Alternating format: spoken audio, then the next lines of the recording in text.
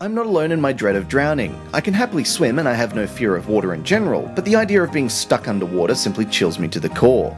Thankfully, the Flood Salvation by CloudGears requires you to save someone from drowning, but the idea of someone being at the mercy of another person's logical puzzle solving skills feels like a strange twist on a Saw movie like Trap.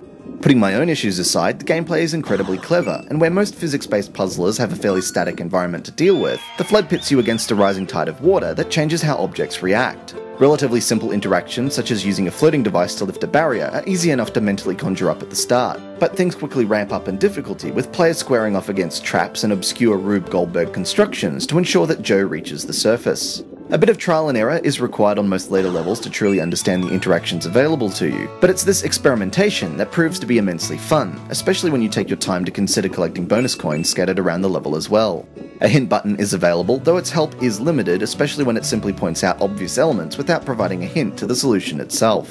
The Flood won't win any prizes for its fairly basic presentation, but new objects are easy to identify, and the frame rate remains solid, even with multiple objects performing complex tasks while Joe flails his way to the top of the screen. The difficulty curve for the Flood Salvation may catch some gamers flat footed, but for a game in a genre that has had more than its share of imitators, this one manages to truly stand out and provide something unique. Worth checking out if you're a fan of puzzling titles.